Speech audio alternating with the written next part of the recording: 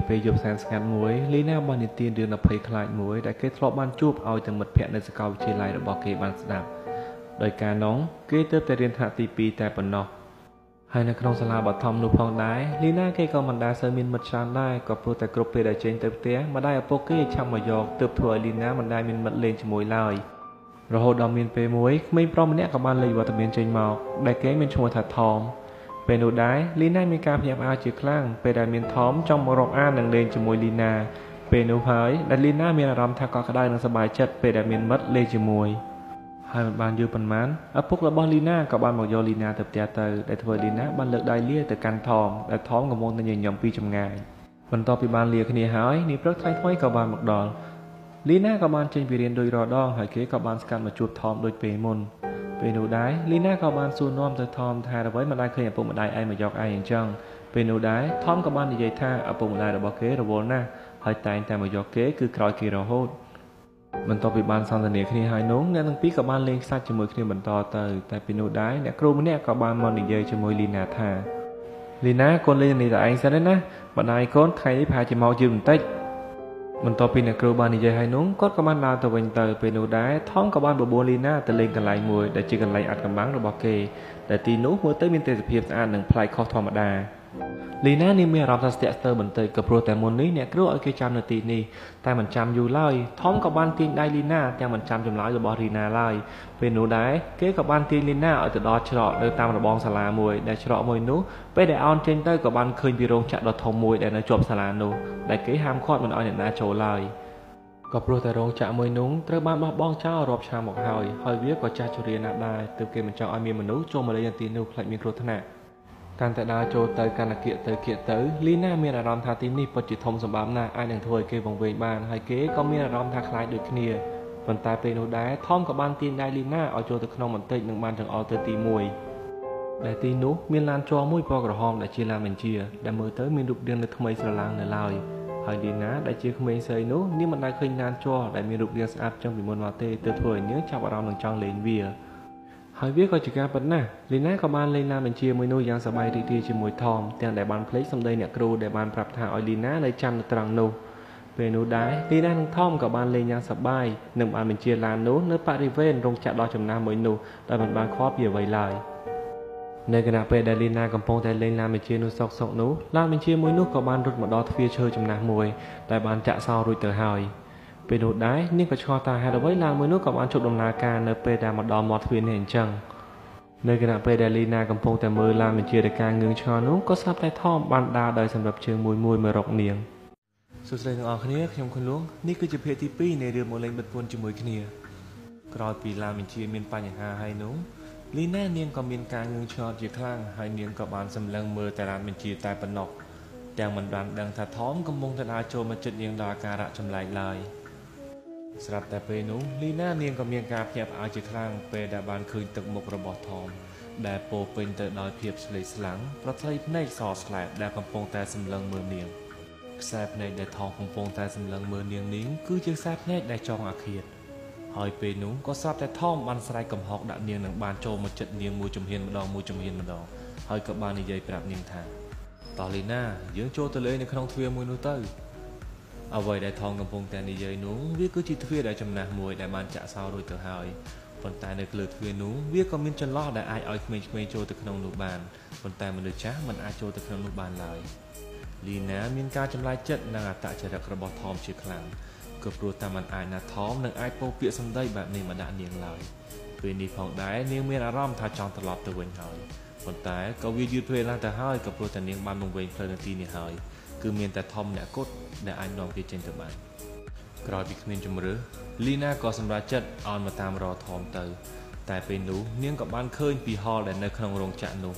ដែលវាពិតជាធំខ្លាំងមែនទែនហើយវាមានអាងជាច្រើនប៉ុន្តែមិនដឹងថាជាអាងអ្វីឡើយ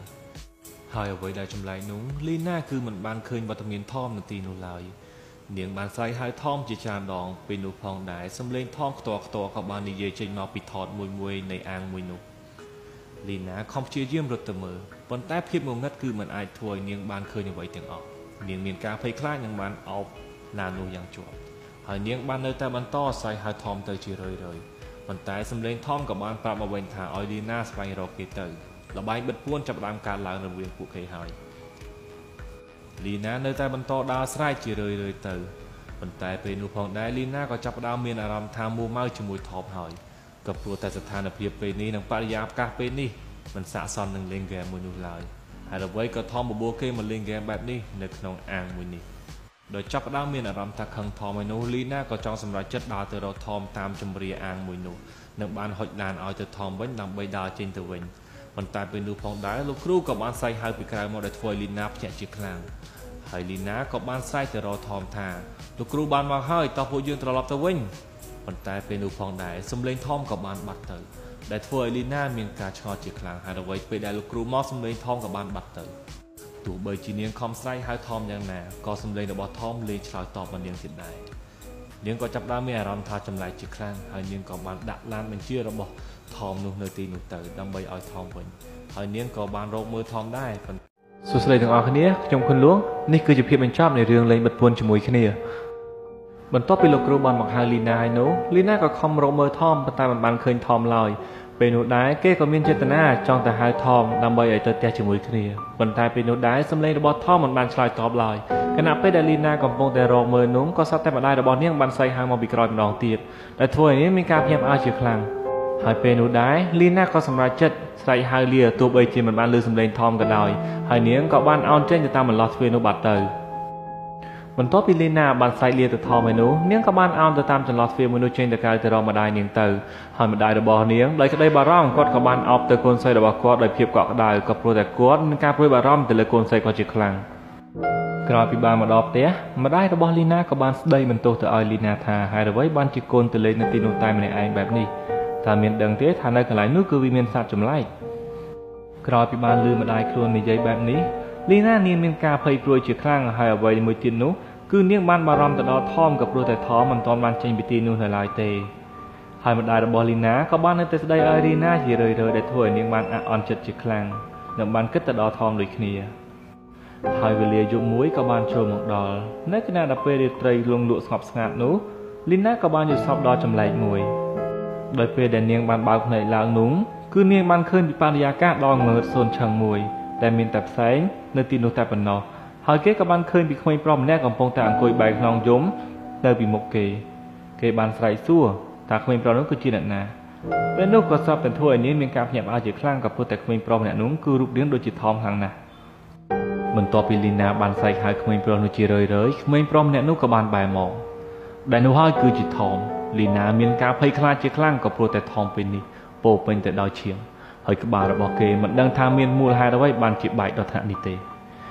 ថងបានស្រែកយ៉ាងខ្លាំងមកកាន់លីណា ដែលធ្វើឲ្យលីណាបានភ្ញាក់ពីដំណេកដោយភាពភ័យស្លាមស្លោចៃដនពេលដែលលីណាបានភ្ញាក់ពីដំណេកនោះវាចៃដនចំពេលដែលម្ដាយឪពុករបស់លីណាកំពុងតែឆ្លោះគ្នាដោយចង់ដឹងថាម្ដាយឪពុករបស់ខ្លួនកំពុងតែឆ្លោះគ្នារឿងអ្វីលីណាក៏បានមកលួចស្ដាប់ហើយនាងក៏បានលើសំឡេងម្ដាយរបស់នាងនិយាយថាខ្ញុំចង់ឲ្យកូនដឹងថានោះគឺជាសត្វចម្លែកតែប៉ុណ្ណោះមិនចង់ឲ្យដឹងរឿងផ្សេងនោះទេលីណាមានការងឿឆ្ងល់ជាខ្លាំង តែយប់មួយនោះផងដែរលីណាក៏សម្រេចចិត្តគេងជាមួយម្ដាយនិងឪពុករបស់ខ្លួនហើយនាព្រឹកថ្ងៃថ្មីក៏បានចូលមកដល់ម្ដាយរបស់លីណាបាននិយាយទាំងសម្របសម្រួលទៅកូនស្រីរបស់ខ្លួនថាកូនមិនបាច់ចាំទៅរៀនទេទេហើយត្រៀមចាំអីវ៉ាន់ទៅថ្ងៃស្អែកយើងនឹងទៅរស់នៅជាមួយលោកយាយដែលនៅឯស្រុកវិញហើយវាក៏ដូចជាម្ដាយលីណាបាននិយាយអញ្ចឹងថ្ងៃថ្មីពួកគេក៏បានមកផ្ទះលោកយាយរបស់លីណា ហើយនឹងបានចោះឈ្មោះឲ្យលីណារៀននៅសាលាថ្មីនៅឯស្រុកនេះវិញលីណានាងក៏មានអារម្មណ៍ថាងឿងឆ្ងល់ខ្លះដែរតែនាងមិនបានហ៊ានសួរម្ដាយនាងឡើយរហូតដល់រយៈពេលមួយខែជាងនាងបានចោះឈ្មោះរៀននៅសាលាថ្មីហើយនោះទើបនាងបានដឹងរឿងមួយពីសារព័ត៌មានដែលបានចុះនៅក្នុងកាសែតចាស់មួយដោយក្នុងកាសែតនោះបាននិយាយថា មានក្មេងប្រុសម្នាក់ត្រូវបានបាត់ខ្លួនអស់រយៈពេលជាច្រើនខែដែលក្មេងនោះពេលនេះគេបានរកឃើញហើយដែលក្មេងប្រុសម្នាក់នោះនៅសល់តែក្រងឆ្អឹងតែប៉ុណ្ណោះមិនដឹងថាបានស្លាប់តាំងពីអង្ការនោះទេលីណាបានពិនិត្យទៅលើខោនិងខោអាវលើសាកសពមួយនោះហើយនឹងឡានពណ៌ក្រហមមួយនោះទើបលីណាអាចសន្និដ្ឋានបានថានោះហើយគឺជាសាកសពរបស់ថម